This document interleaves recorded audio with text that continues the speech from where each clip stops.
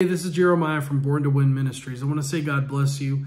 Thank you so much for tuning into this video. And if you saw the title of the message or you saw the thumbnail on YouTube or Rumble or Facebook or wherever else you are watching this, you'll know that today's video is a very special video because what I've got is a prophetic prayer for the United States of America.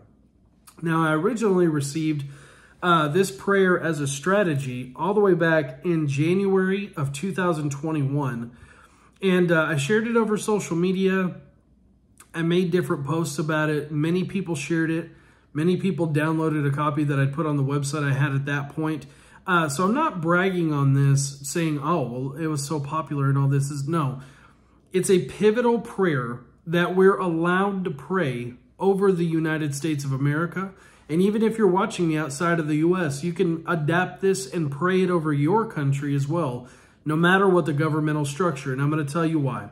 The Word of God says two things. Number one, it says in Matthew 18, 19, whatever two of us here on earth can find to touch and agree on, God will do it. He will honor our prayer of agreement. But also, and very importantly, according to Job 22, 28 in the Amplified Classic, it said, You would decide and decree a thing, and it shall be established for you, and the light of my favor will shine on your way. I want God's favor.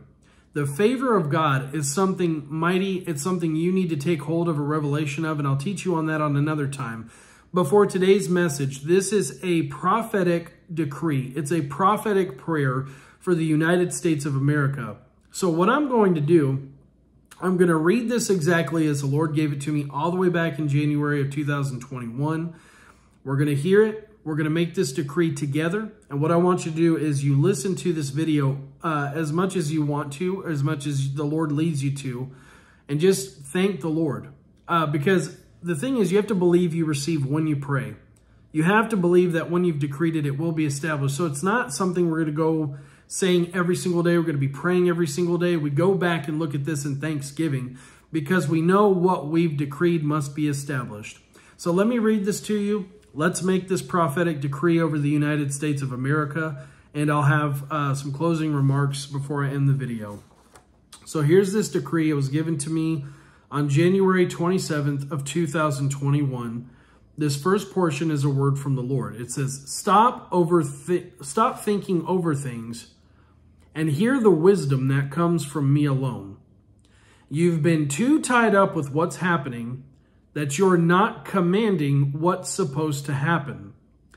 You've become a passenger on the ride you're on instead of being the conductor. Have I not said in my word that you would decree a thing and it shall be established? If you hate what is established, rewrite it. America, America, hear the word of the Lord. Hear what I say to you. As a hen gathers her chicks, that's how I'm gathering you now.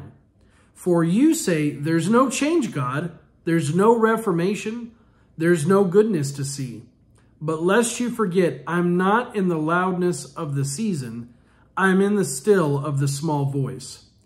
I remind you now, America, that the Reformation is nigh, even in your mouth. For too long you've seen and dealt with what you've seen, but remember, you were made in my image, my likeness, and you deal in my creativity. I create with my words. Every syllable must be obeyed. I've given this power to you. Use it. And don't just be loud. Be bold. For even a rat with a megaphone can sound intimidating, but volume does not equal power. You have to speak calmly and boldly, and yes, that is when the mountain shall be moved. Stop agreeing with what is happening in your nation. Do not believe the lie that you are at the mercy of your politicians, for they are at the mercy of your mercy. You have chosen them, anointed them, if you will, by your choice. Force their hand to represent yours. Stop seeing the strife and start declaring this word over your nation. So this is the decree. I take my authority in Jesus' name to bind the enemy from operating in our highest offices in the land today.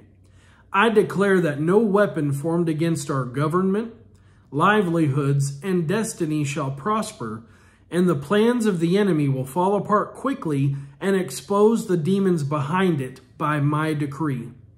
The White House will be a tabernacle of the Holy One. It shall be sanctified and cleansed. The House of Representatives is a tabernacle of the Lord of hosts. It shall be sanctified and cleansed. The United States Senate is a tabernacle of the King of Kings. It shall be sanctified and cleansed. The United States Supreme Court is a tabernacle of the judge of all the earth who does right. It shall be sanctified and cleansed. I am blood bought by Jesus of Nazareth. I am appointed and anointed to decree and declare what shall come to pass, and nothing leaves the offices of the land without my approval and my consent. I shall agree or disagree based on the power vested in me as a representative of the Lord God Almighty. Do not cease to decree this. Don't grow slack when the pressure of this current election season is off. You will now have to enforce your own victories. Now, rest in your restoration, America. Land that I love, you shall not be mended, you shall be reformed. Now, that's a word that came from the Lord.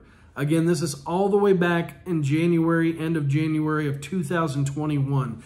The restoration of the United States of America has been on the Lord's mind since its inception.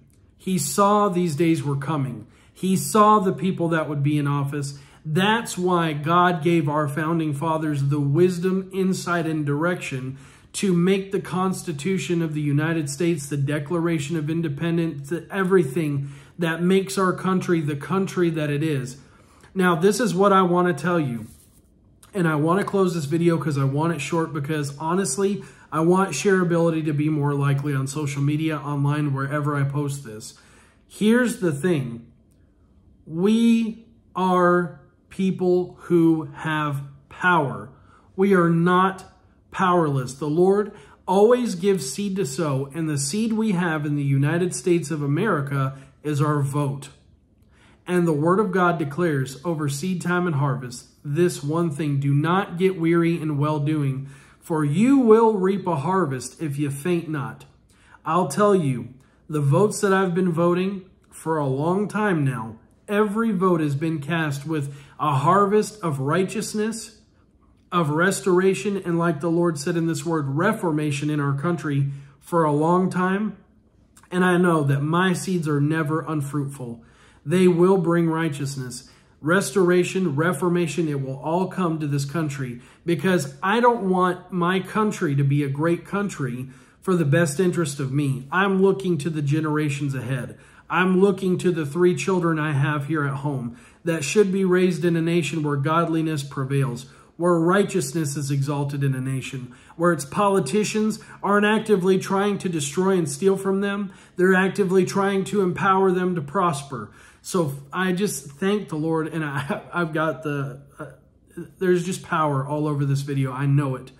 And so what I want to leave you with is this. Your vote is not worthless. Your vote could be the deciding factor in any race that you're in. So I implore you today, don't withhold your seed. For the word of God says that he who withholds his seed, it will tend to poverty. If you withhold more than's meat, it will tend to poverty. If you're impoverished in the nation, it's because there's been a withholding of the seed that should be sown. That seed is your vote. So again, find out where your polling places are. Go get voting. Vote for righteousness to be exalted in the nation. Vote for biblical principles. Just think of it this way. If Jesus had my vote, who would he vote for? And how would he vote? God is all about the opposite of stealing, killing, and destroying. He wants life and life more abundantly. So I'm going to end this video now so I can put it as many places as I can. I want you to know I love you. God bless you. And if you want to find out more about this decree and download a copy, go to borntowinministries.org. Goodbye.